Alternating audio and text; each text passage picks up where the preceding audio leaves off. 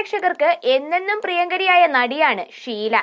അറുപതുകളിൽ cinema ലോകത്തേക്ക് എത്തിയ ഷീല മലയാളത്തിലും തമിഴിലുമായി നിരവധി സിനിമകളിൽ അഭിനയിച്ചിട്ടുണ്ട്. മലയാളത്തിലെ പകരം വെക്കാനില്ലാത്ത അതുല്യ നടിമാരിൽ ഒരാളാണ് ഷീല. ഒരു കാലത്ത് മലയാളികളുടെ നായികാ സങ്കല്പം പോലും ഷീലയായിരുന്നു. ആയിരത്തി തൊള്ളായിരത്തി അറുപത്തി രണ്ടിലായിരുന്നു ഷീലയുടെ സിനിമ അരങ്ങേറ്റം. തമിഴിൽ എം ജി ആറിനൊപ്പം മുതൽ മലയാളത്തിൽ സത്തിന്റെയും പ്രേംനസീറിന്റെയും ഒപ്പം വരെ നിരവധി സിനിമകളിൽ നായികയായിട്ടുണ്ട്. പ്രേം നസീറിനൊപ്പം ഏറ്റവും കൂടുതൽ സിനിമകളിൽ നായികയായ നടിയാണ് ഷീല. ഇവരുടെ സിനിമകൾക്കൊക്കെ ഗംഭീര സ്വീകരണമാണ് ലഭിച്ചത്. ദീർഘനാൾ നായിക നടിയായി തിളങ്ങിയ ഷീല പിൻകാലത്ത് സിനിമയിൽ നിന്ന് ഇടവേളയെടുക്കുകയും മനസ്സിനക്കരെ എന്ന ചിത്രത്തിലൂടെ തിരിച്ചുവരവ് നടത്തുകയും ചെയ്തിരുന്നു. ഇന്ന് സിനിമകളിലൊന്നും അത്ര സജീവമല്ലെങ്കിലും ടെലിവിഷൻ പരിപാടികളിലൊക്കെ സജീവ സാന്നിധ്യമാണ് നടി.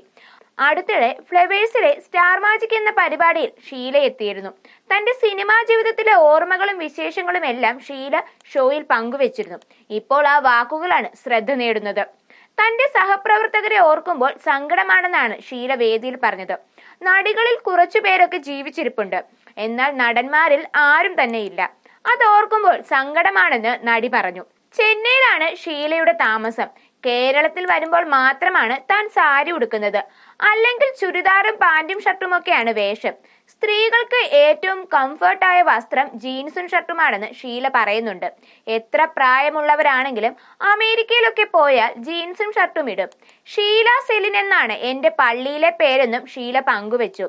പ്രേം നസീറിനൊപ്പമുള്ള ഓർമ്മകളും ഷീല പങ്കുവെക്കുന്നുണ്ട്. നസീർ എന്റെ ഭർത്താവായിരുന്നു ആദ്യം. പിന്നെ മകനായും എത്തിയിട്ടുണ്ട്.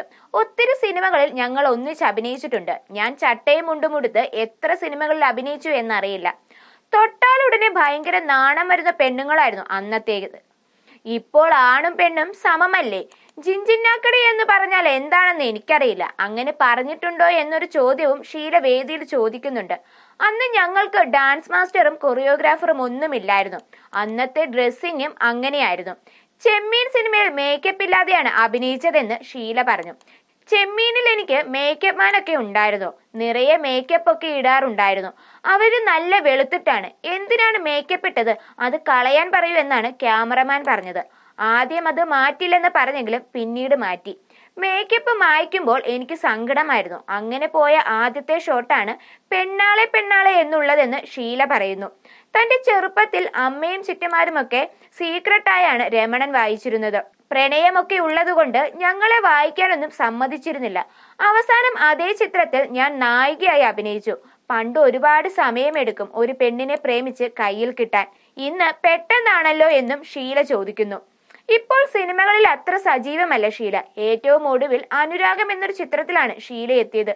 അതേസമയം നിരവധി ടെലിവിഷൻ ഷോകളിൽ അതിഥിയായി താരം എത്തിയിരുന്നു